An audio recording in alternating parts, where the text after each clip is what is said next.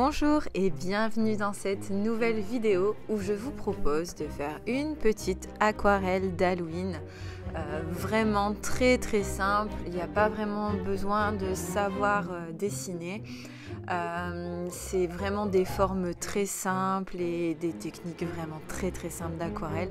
Donc ça peut vous mettre dans l'ambiance de cette super journée de Halloween. Donc euh, allez-y, prenez un papier et euh, faites ça avec moi. J'ai hâte de voir vos résultats. Ici, j'utilise un papier de chez Caddy Papers. C'est une marque de papier indienne.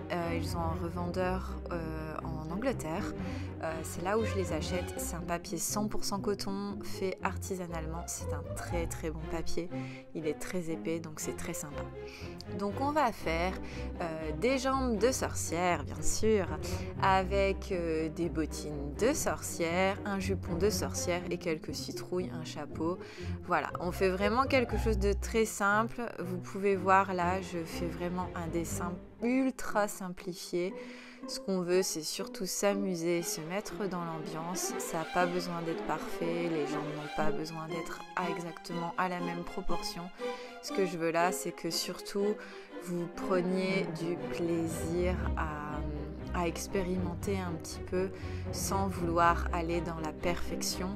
Parce qu'avec l'aquarelle aussi ça a cet avantage c'est qu'on peut aller euh, faire des choses qui sont pas forcément dans la perfection jouer avec les fusions etc et faire des choses un peu plus floues un peu plus sympas donc euh, allez-y, amusez-vous, essayez de faire euh, une sorcière de dos comme moi. Je m'arrête au jupon, comme ça en plus c'est beaucoup plus simple, on ne fait pas de torse, etc.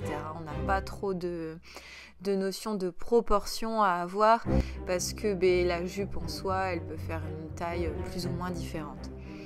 Je fais également une citrouille en haut, quelques fleurs, enfin je note à peu près où je vais faire des fleurs et des feuilles avec un petit chapeau pour euh, délimiter la zone en fait où je vais m'arrêter.